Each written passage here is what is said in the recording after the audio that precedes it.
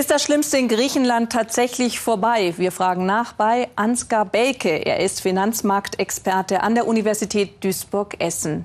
Herzlich willkommen bei uns. Wie sehen Sie das denn? Ist denn Griechenland tatsächlich auf dem richtigen Weg?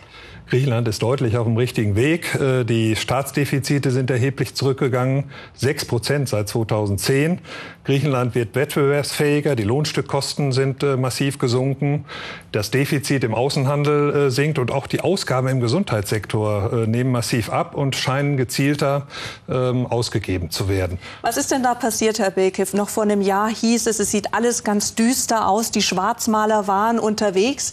Wie konnte denn jetzt so schnell alles so viel besser werden? Nun, die Zinsen auf Staatsanleihen sind runtergegangen, weil die EZB massiv in den Markt interveniert hat und auch Anleihekäufe angekündigt hat. Und das ist natürlich erstmal ein Mittel auf Zeit. Wir werden sehen, was das in Zukunft kostet.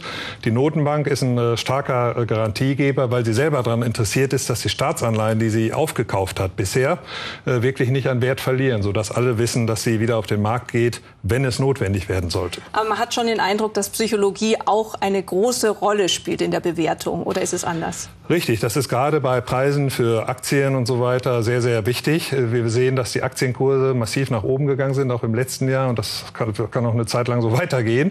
Psychologie ist äh, sehr wichtig und auch das potenzielle Eingreifen der äh, Währungshüter. Allerdings auch manchmal sehr gefährlich. Gehen wir mal durch die Länder. Zum Beispiel Portugal, ein Land, das Sie erst kürzlich besucht haben. Wie sieht es denn dort aus? Ja, Portugal zeichnet sich dadurch aus, dass die Bevölkerung sehr europaorientiert ist. Sie haben die Osteuropäer in die äh, EU gelassen, obwohl sie wussten, dass es Hauptkonkurrenten sind. Sie führen die Reformen sorgsam durch, äh, die von ihnen abverlangt werden, und sie exportieren auch wieder mehr. Insofern ist auch dort äh, der Ausblick durchaus positiv. Sie sind an den Kapitalmarkt zurückgekehrt, haben eigene Anleihen aufgeben können und hoffen, bald aus dem Programm herauszukommen. Jetzt kommen wir mal zu den schwierigen Seiten. Wo sehen Sie denn im Moment die größten Probleme in welchem Land? Sehr problematisch neben Griechenland als Sonderfall ist natürlich äh, Spanien mit einer exorbitant hohen Arbeitslosigkeit, hohen Jugendarbeitslosigkeit und noch sehr viel Abschreibungsbedarf im Immobiliensektor. Sie haben die Immobilienpreisblase noch lange nicht äh, überwunden. Allerdings rechne ich nicht damit, dass Spanien bald unter den Schirm geht, weil die Notenbank die Zinsen gesenkt hat, die Refinanzierungskosten für spanische Unternehmen, Banken, sodass sie selber Bedingungen stellen können, unter denen sie verseucht werden.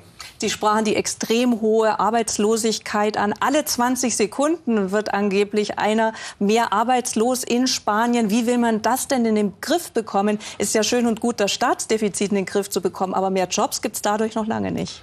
Nein, es ist sehr wichtig, dass jetzt äh, dadurch, dass die Blase abgebaut wird im Immobiliensektor in Spanien, äh, das Ganze äh, eben nur kurzfristig auftritt. Wir kennen das von Spanien aber, dass die strukturelle Arbeitslosigkeit schon Ende der 80er Jahre sehr hoch war.